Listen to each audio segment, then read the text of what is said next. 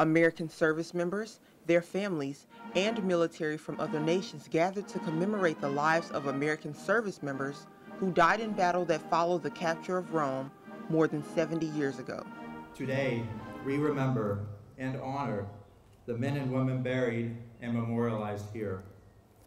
We thank them for their sacrifices, for we know that freedom is not free. For all those who mourn a loved one buried here, I offer you the gratitude of a nation and the assurance that we will never forget.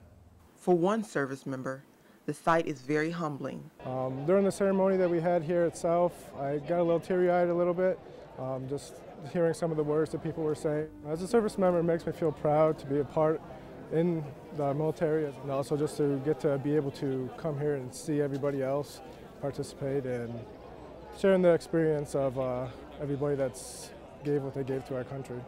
The Florence American Cemetery is one of 14 cemeteries maintained overseas by the American Battle Monuments Commission.